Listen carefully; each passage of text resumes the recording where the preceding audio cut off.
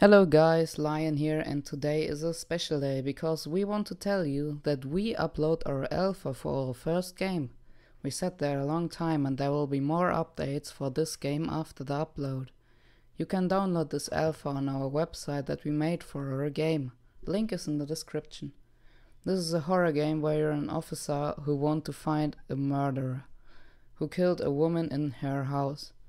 But you figure out that this thing which killed the woman isn't that normal and you get hunted. For that being said, we hope that you enjoy our game. We will make a free download for the alpha and tell us if you enjoy and what we can make better.